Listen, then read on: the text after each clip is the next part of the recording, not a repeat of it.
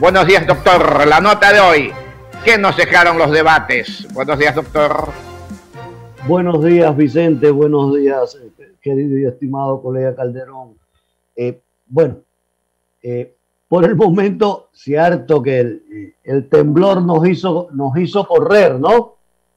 Nos hizo correr y con fuerza a, todos un buen susto a las 5 y 15, 5 y 20 de la mañana.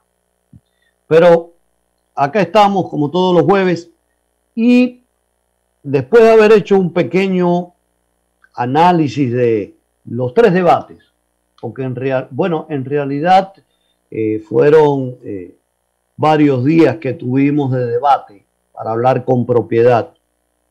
Tenemos que llegar a algunas conclusiones que yo creo que son importantes.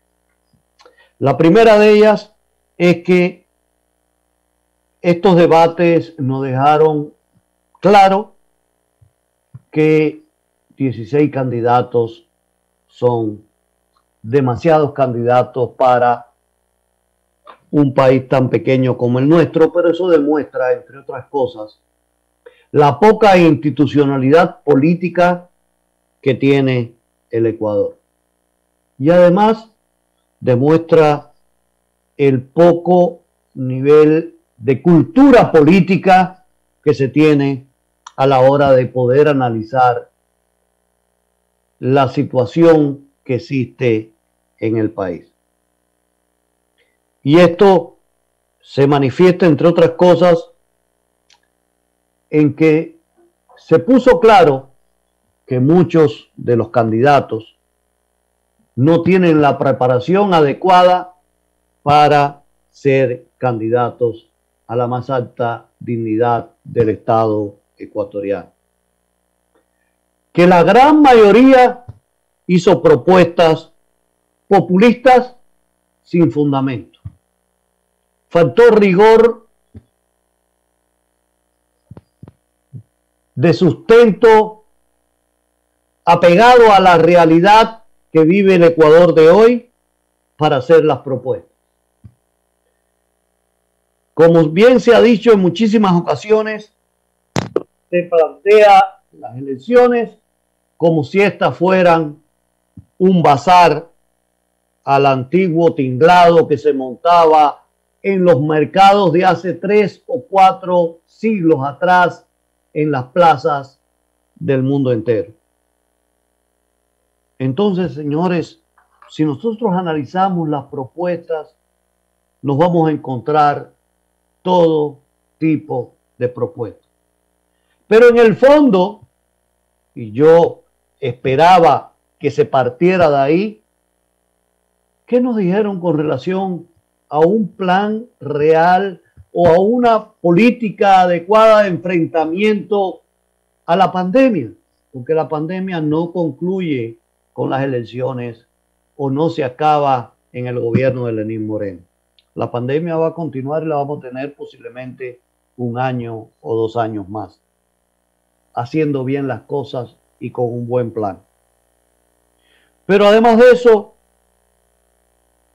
muchísimos de los candidatos piensan que el pueblo ecuatoriano, y, y discúlpenme la expresión, es un pueblo que no piensa, es un pueblo, pensarán ellos, que somos tarados mentales, que no sabemos darnos cuenta de cuál es la situación que tenemos y entonces no se preocupan por tenernos un plan realmente estructurado.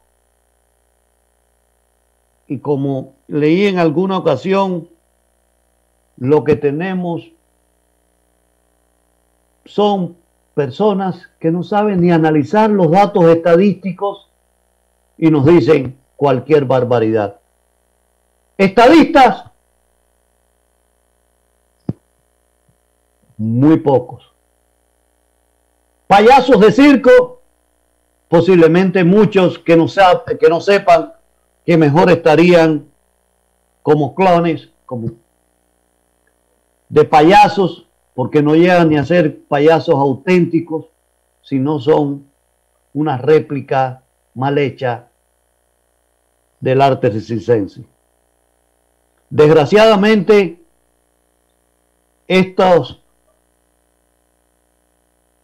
debates nos dejaron muchísimas preocupaciones y muy pocas propuestas de soluciones a los problemas reales del Ecuador de hoy.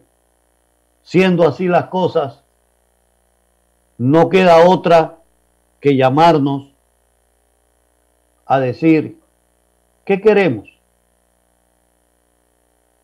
Un país que va a hipotecar su futuro y que va a provocar de si elegimos mar un éxodo como el que tuvimos en 1998 o como el que tienen los hermanos venezolanos actualmente o como tuvieron en la década de los años 60 y 70 mis hermanos de la isla. Realmente habría que pensar muy bien el voto y pensar que si bien el debate nos desnudó a muchísimos de los candidatos en todas, en todas sus intenciones, también nos enseñó que tenemos que pensar muy bien el voto y que sí, hay que ir a votar con las medidas de seguridad, de bioseguridad adecuada, porque el país se está jugando más que una elección, se está jugando el futuro. Muchas gracias.